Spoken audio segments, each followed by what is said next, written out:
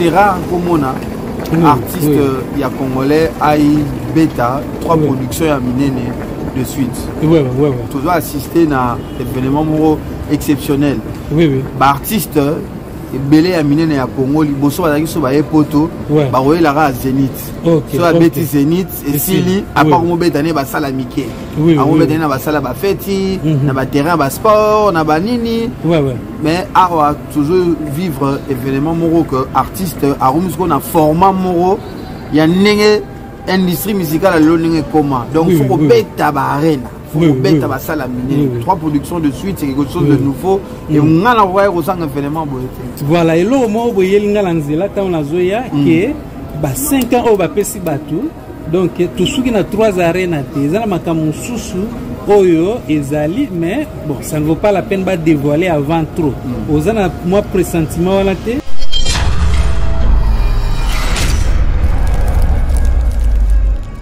wembley arena ok oyo ezali stade ya monene oyo ezali pembeni ya eh, ovo arena ovo arena ezali salle oyo ekangama Wembley eh, na kati kuna ekangama eh, te ok Wembley eza stade Ovo Arena eza salle ok alors à partir ya Wembley nazokende na Ovo Arena bomona ndenge makambo eza sikoyo bientôt 12 heures heure de eh, Londres ok midi heure de Londres kala mingi te eh, dispositif ya sécurité ezali ya deux fois te eza événement ya monene ok mais awa nde sikoyo keba eh, bato ya sécurité ebele baza ya kobombana ngai par exemple bayebisi ngai nasalela trepie te trepie ezali équipement na biso oyo totelemisaka mpo na etanga e, e maintenir etenir eh, appareil photo ou bien appareil caméra bayebisi ngai tozali na droit ya kofilme yango te ya kosalela yango te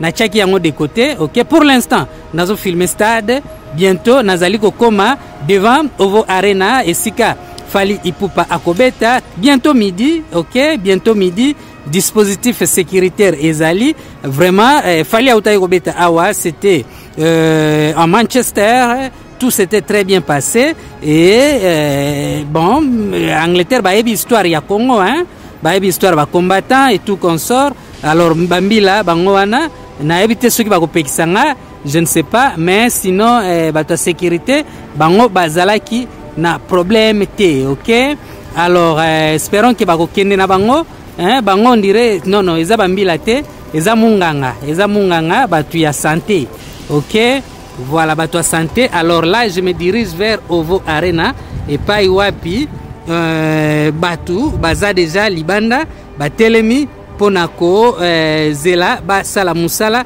par rapport ya eh, concert ya artiste fali ipupa motuka oyo moyen na filme yango ezali te mpo na koevite trop d'attention ok objectif na ngai awa ezali kosala mosala alors soki ekomi ke babengana nga basala boye donc eh, je serai obligé ya kozala mosika trop hein? donc eh, oyo ezali bato ya santé eh, ambulance tout ça et na ba équipement na bango ok je ne sais pas ce que ça par rapport à concert ya Fally mais nde siko pour l'instant nazo filmer stade ok nazo filmer stade Ovo Arena et par après nako filmer euh, esika Fally aza kobeta je me dirige vers côté oyo Fally azobeta ok voilà alors nakatisi balabala ok stade toujours sikoyo nazokende vers côté oyo Fally aza kobeta pour l'instant stade yango oyo eza nango mosika te eza salle tout à côté juste à côté de euh, de eza stade euh, donc fallait azobeta na salle pembeni ya stade donc à peu près 100 mètres hein? à peu près 100 mètres babuilding ya milai milai awa hein? donc euh, londres batongaka toujours depuis depuis depuis batonga ya makasi mpenza c'était euh, en 2012 hein?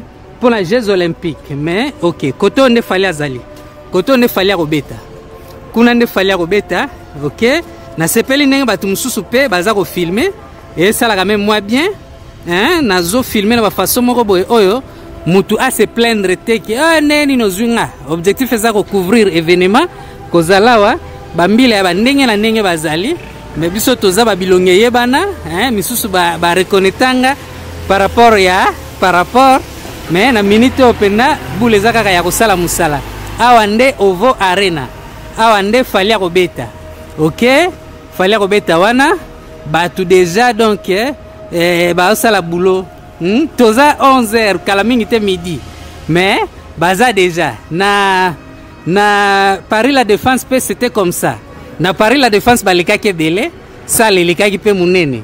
Ok, mais awa nde sikoyo keba bato ebele baza euh, invisible bato ebele bazomonana te ok bato ebele oyo bazotravaille déjà bazomonana te à l'intérieur plein porte mosusu eza na nsima porte wana ezali mpo na bato ba vip bango bakokɔta kuna concert oyo epuse ngai na banda kosala mpe makambo minene c'est-à-dire ntango nakia evenema eh, ata soki naza na badge te mpo na kokɔta na ndenge nsima nazala au moins na eh, billet ya vip mpo epermettre ngai nasala mosala avec flexibilité hmm? makambo oyo fali asali na 2000 ça s'appelle quoi 2023 oyo Et ça nous oblige nous autres ya kokoma beaucoup plus responsable nakomi warrior te toza na cas ya ken mpiana oyo aza koregrete ndenge euh, bon atrahir culture amipesaki trop na mutu moko ok lelo oyo akomi au milieu du village na temps moko boye oyo eza un peu trop bizarre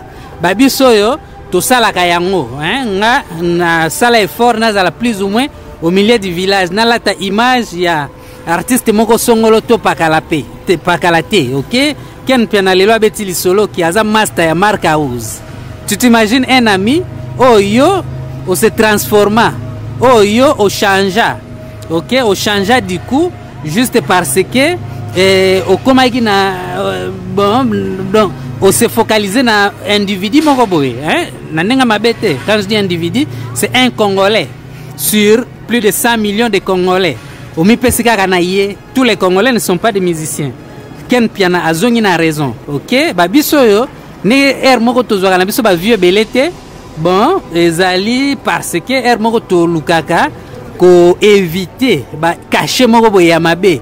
Tala pona bango nde ba musiciens baza ko avancer te. Pona ye nde ba musicien boye boye alors heure moko na preferaka nazwa na nga bavue moke mais nazala mutu oyo bato baza kose plaindre te ok donc ken piana eh, azongi, azongi na raison donc toza awa tosalela bino mosala bato baza deja ebele oyo bazali kosalela bino mosala donc eloko na bandaki koloba c'est-à-dire à partir ya concert oyo ya fali baévénement ya fali ok bato bazwi ba 5 ans nga ndenge na comprendre bato wana baza euh, donc c'est-à-dire fali aza na baévénement mosusu ti ba 2030 oyo ezalaki euh, facile koconvaincre bango ke bapesa bato wana visa parce que bato yango bakoaccompagne d'une manière ou d'une autre toyoki nanu ba ba, ba événement ngo te hein? to apprendre yango nanu te mais moi j'ai compris ça comme ça que fali aza na événement mosusu ba événement misusu oyo komema biso ti ba, ba 2030 oyo e, e convaincre bapays oyo nyonso bapesa bango visa hein? bapesa bato ba oyo bakoaccompagne ba visa alors par rapport a nga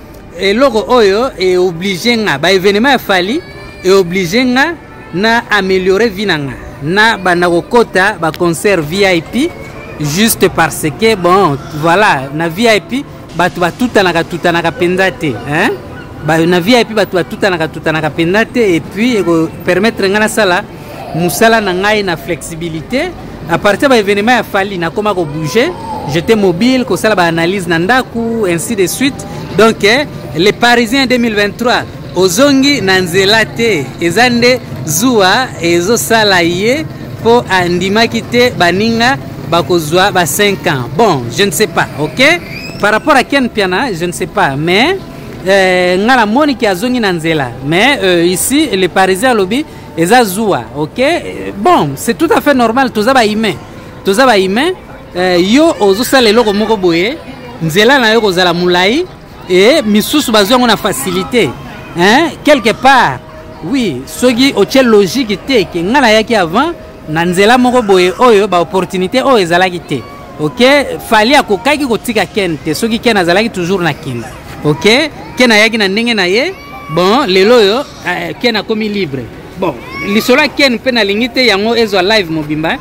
par rapport a nga par rapport a nga décision oyo nga nazwi ezali na améliorer makambo oke nake concert na na badge te problème te nakoti au moins vip vip wana ekopermettre ngai na filme bien à l'aise nasali mosala na ngai epuis nakei na bomoto boye il faut kosaméliorer la vie c'est comme ça la vie il faut koprogresse ok tosali mosala oyo na bafaso moko boye ondire olingi noko avance te ondire ozosan foutre ondire ondire na minute oyo makambo oyo fali asali bon eh, eza course na bato oyo bauti congo te eh, eza course te mais nde sikoyo tokomi oblige ya ko eh, tokomi oblige ya ko ya koameliore quand même bavi na biso ok tokomi oblige ya koameliore quand même bavi na biso parce que euh, c'est comme ça c'est comme ça hein?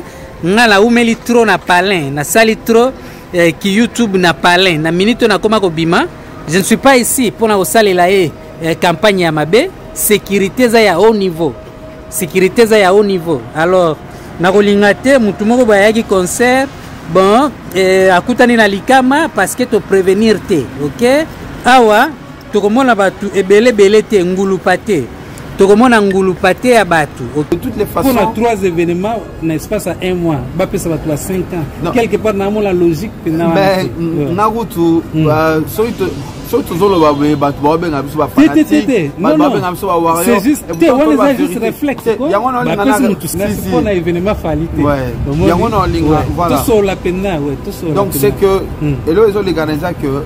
Euh, normalement il y a autre chose fali ipupa mm. non avant oui. tokoma wana ouais. fali ipupa mm. na, na groupe d'accompagnement na ye il fallait bazwa bavisa oyo déjà depuis kala okay. parce que c'est le seul groupe congolais oyo de, les derniers 10 ans oyo ezobouge trop oui, oui, donc oui. il fallait kutu bazala kuna ba na bacarte ya barésident déjà na bapoto donc parce que ils sont tout le temps mhm. en mouvement mhm. ngai mhm. tellement nalandela na bango nayebi badeplasaka trop eza normal et puis baprojet oui ba mhm. projets mm -hmm. ebele mm -hmm. na Europe toza na 5 arena na Europe mm -hmm. mobimba déjà babetaki la plus grande salle européenne ezalaki mhm. yo arena mm -hmm. après toye awa mhm. etikali mm -hmm. na Allemagne mm -hmm. na na Suisse mais mm -hmm.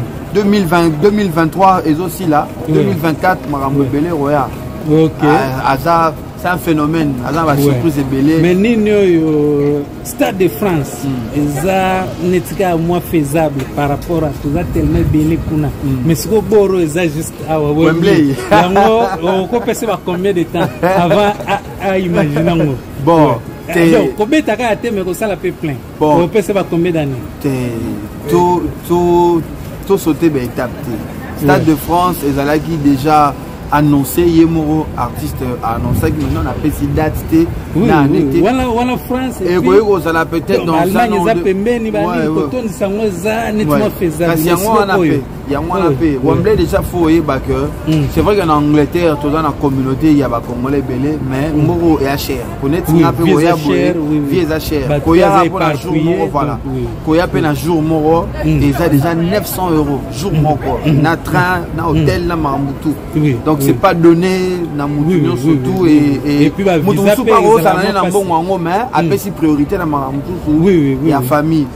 nga na ye parce que ba warrior baza nsima na nga do napesi ba mère gladis ah, mote na ba succès kasongo mais bien sûr bien sûr ah, bien sûr bien sûr te bien sûr mon cher toro asoni mpo nini mm. nga na muta bato nga na mm. muta bato bato so balingi bamona nga na événement boye bakosala oyo nyonso eza possible mais bavoyage no akin mwa oyo oh, boyi koloba okozala mpe mosika mpe te surtout soki oyebi te nayaka souvent mais nayaka souvent na bamasta to mais que nayebi mpe mboka bien te hmm. londres eza monene londres eza monene donc nazwaki badisposition na nga natalaki place na kokita na train hmm. na place na kozala loge na hmm. place mpe na kozala awa mpo nazala mosika ya ya sale te okende ofanda mosika après mboka oyo eza monene makasi kozwa bacorrespondance ya bametro batran naboyaki yango po neti a so concert esili hmm. biso oza biso bana malamu nake nango lala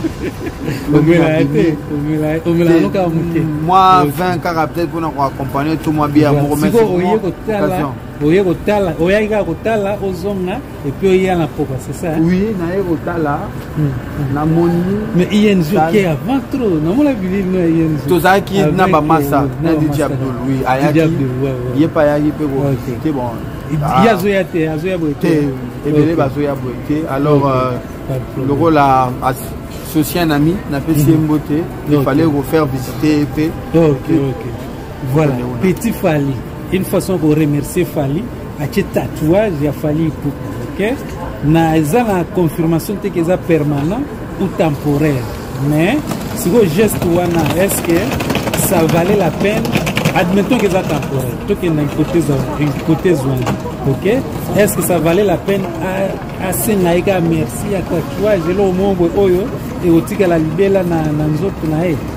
po c'est très facile ba jeune mosusu ba adopte yango ta mosusu bamati na, na, na, na podium bon ake asengi merci ya tatouage banini ouais omonaki yango quand même ozala mpe na réseau sociaux commentaire nini osala wana bon déjà petit fali lelo akomi artiste akomi artiste hmm. euh, aye na aigle aye uh, na groupe ya la pop star congolaise mm -hmm. fali pupa ngai nabenge na pop star congolaise mm -hmm. fali pupa aye na ye soki mpo na ye ajuge que remerciement mm -hmm. na ye ya maloba eza mhm. poi te il fallait asala asala tatouage eza permanent Hmm. eza permanent donc euh, eza temporaire te eza permanent ah, donc oza courant naza courant naza courant nango eza okay. permanent mm. moi je pense que c'est vrai que epa na biso mwa biloko mosusu eza na tabu eza na tabu mais lelo na Kinshasa nga na kenda Kinshasa un peu souvent nga pe na otiku na 6 mois na 2023 au Qatar tatouage ekoma na ngo partout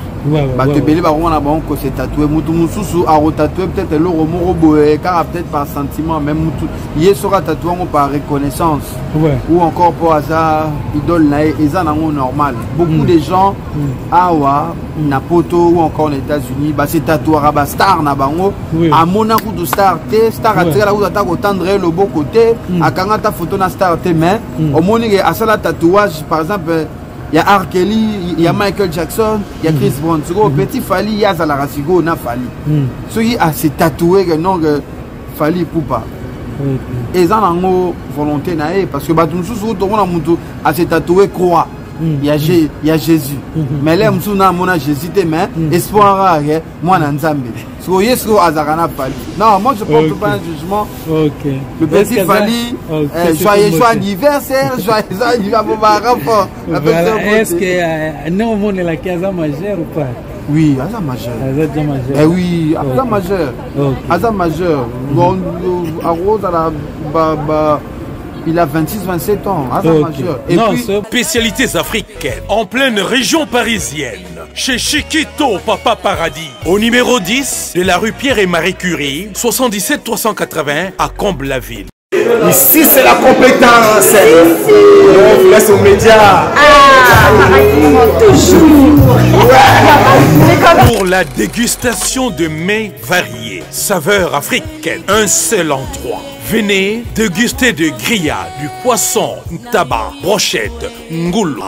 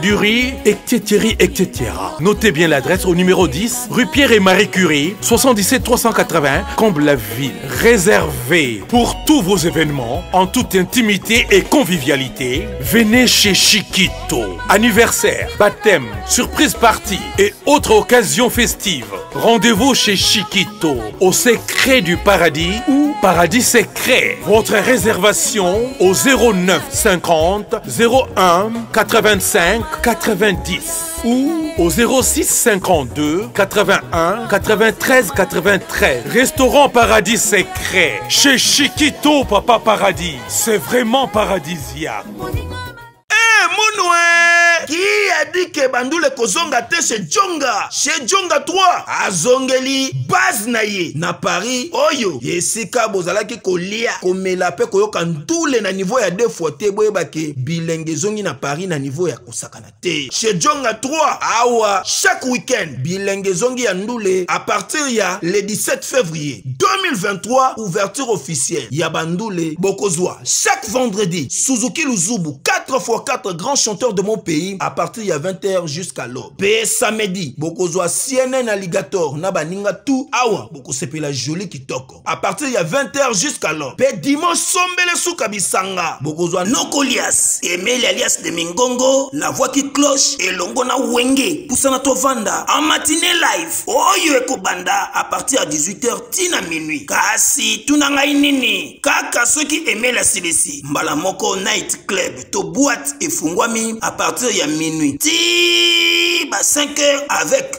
DJ Bobo oyo akosepelisa bino na bandule mpe na ambiance ya kitoko. Malolo. Oui frère, Babi Chonga.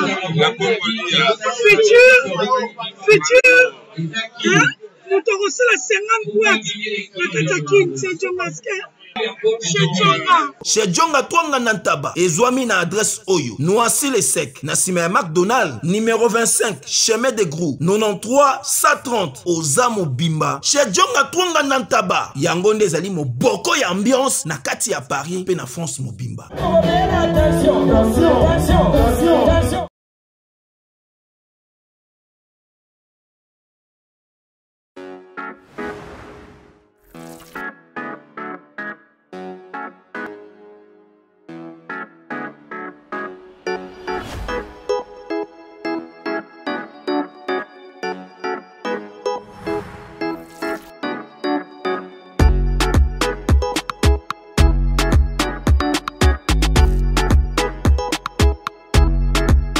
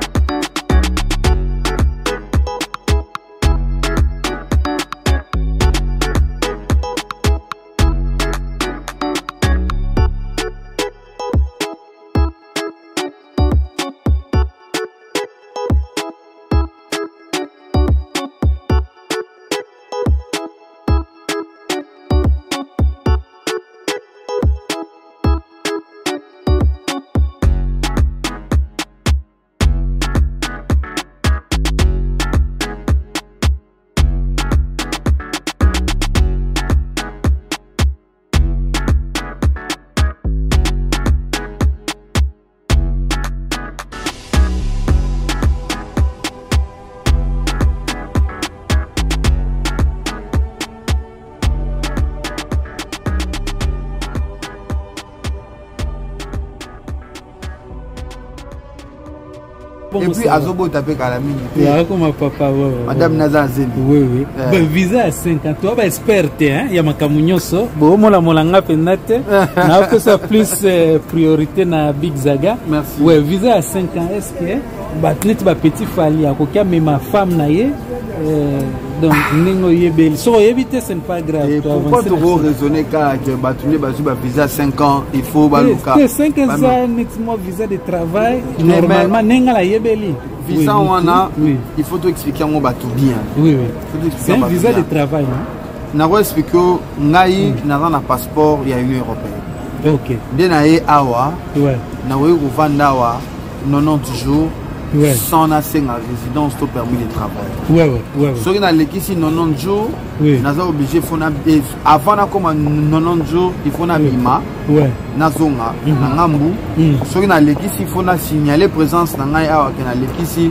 90 jours oui. mpo nasala demande moko boye mm -hmm. ya koseneke naza awa depuis plus de 90 jours c'est la même chose na bavisa oyo baartiste bazwi ya 5 ans eza, eza bavisa de travail eza mm. bavisa d'artiste mm. nde baza wana baza na droit ya kovanda na union européenne principalement na sol français mm. pendant eza de 90 à euh, de 90 à 180 jours mm. donc soit 3 mois mm. soit 6 mois ezo mm. dépendre mm. na bacondition ndenge bapesela ye bango ah, oh, oui. eza ya 5 ans continue te eza valable pendant 5 ans ah, okay. mais mais na 5 ans wana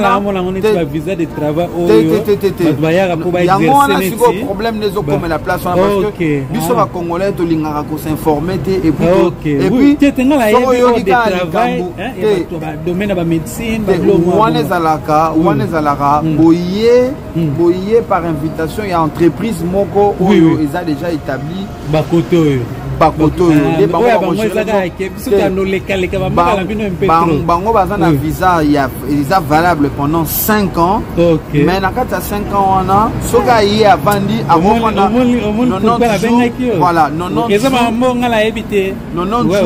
90 jours donc avant 90 jours hmm. akozwa mm. neti akomi na 81e jour eh, mm. na 89e jour mm. azwi avion mm. ake kaka ata kaka rabat na maroc mm. oui, 3 heures de vol ouais. akoti maroc mm. lobi nango na pokwa ouais. azongi oui, oui, azongi oui, na schengen mm. abande mm. lisusu 90 jours mosusu a zero oui, oui, donc oui, visa oui. eza bongo mm. yo mams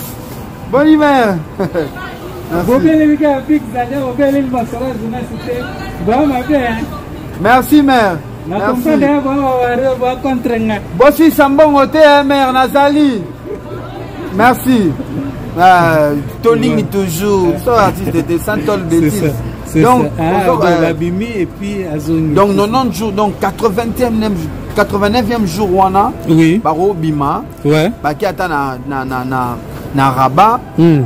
to na, na, na kaza epuis bazongi donc mm. c'est un peu ça bato batika koluka kokomisa likambo yango so neti ndenge nini bon hmm. après euh, après il y a eu beaucoup de bruit sur Maramba Visa parce que ça fait aussi partie à marketing, la stratégie à artiste. Oui, oui, oui. Vous oui, oui, oui, oui. Tu as tout salé loco, oui. bon, le roi, oui. tu en as trois dates, tu en as tourné. oui, mondial donc, parce oui. que soki basilisi ba trois concert bazokende afrique mhm, mhm. bazokende afrique et puis mhm. bakotambola un peu et puis bakozonga lisusu na europe okay, donc okay. c'est ce que les gens doivent comprendre ouais, ouais, et puis biloko ouais. ya ndenge wana eza mpe bien mpona artiste azala ouais. excité te ouais. to influencé te mpona kokima oui. parce que artiste oui. ayebi ke ata tozongi na biso congo mm. soki naza na mwa urgence moko personnel mm. biso toza na biso tosololaka na bamasta oyo baza na kati ya mouvement bazali na mm. aval ya ye mm. moko mm. fali ipupa ke lokola toyeba date oyo ebele bakozonga au plus tard le 20 février oui, oui, oui, donc baconcert oui. ezosila effectif moko oui, oui. effectif moko ezokende mm -hmm. euh, na fali ipupa mm -hmm. na tournée africaine mpo aza na badate na afrique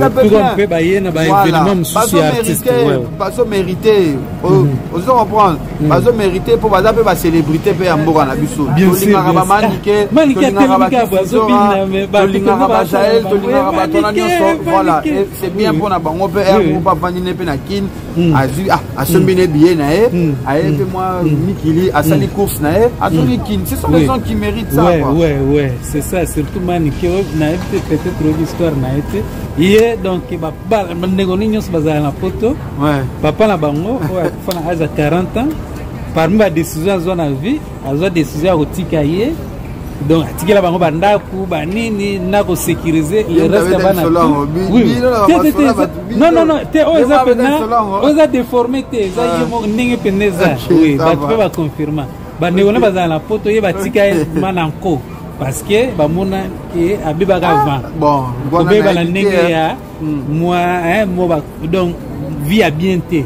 Ouais, il y a bien te, ambiance, hein, tout qui est dans la ambiance. Ouais. Wana, wana. Sigoyo, koya na epoto, ezo kamusa par rapport à ça. Mm. Et puis, à epoto, moko avec ba, ba honneur. omoni ouais. bon wana wana wana eza eza vie privée na ye naza na eloko aloba te mais je pense que mm -hmm. c'est une personnalité publique bah, oui, oui, elle oui. est tellement suivie ouais. bakongolais balingaka ye principalement mm. na diaspora ouais. euh, il était quand même temps aya mpe akutana mpe na public na ye ya poto ya poto te plaisir après plaisir donc euh, voilà baquestion osila te mais sinon te na olinga te na garde yo malili malili na makolo epuis na continue na baluka donc moto abauti komona big zaga donc euh, eh, acteur culturel azalaka zalaka donc alekisaka makambo te banini mais dose nde kote ya barando kolata image ya rando te esala eh, bien te mpo toya mikolo basujet mpe bodiskitaka bo ozovanda te naboyelanga totanga bakomba bato eh? mm. mais eza mpe bamakambo oyo mpe esalaki mpe actualité na ba 2023 oyo nga natalaka nyonso natali na nga na mebala mai te koswana te mais lere komi ntango obeta basujet politique to comprendre te wana politique mais lere komi ozo répondre boye nani na nini te te totikaka mpo bakoma bato ekota ozo comprendre na pas biso mabe na biso tolingaka toujours non j'aime pas kolamusa babiloko mosusu peut-être bobongisa moni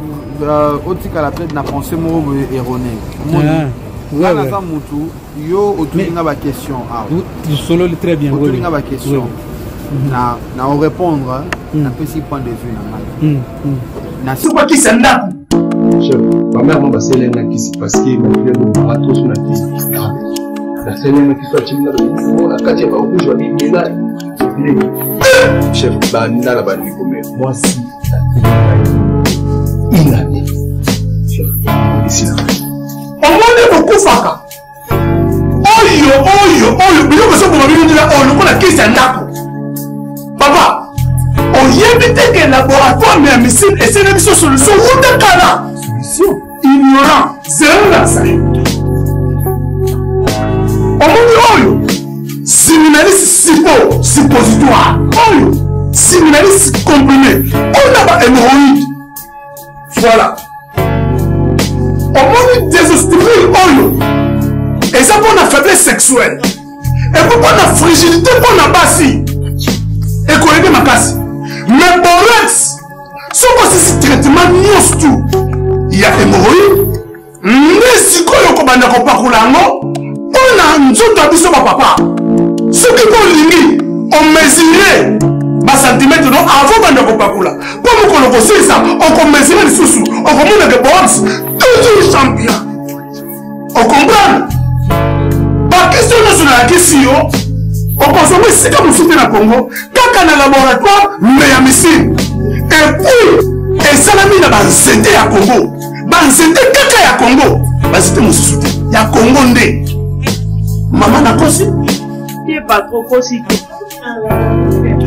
eh, wana nde akulunga eki bores oyo mobali na nga asalela bores oyo soko na bores oyo te me mobali na nga nzoto lezonga ya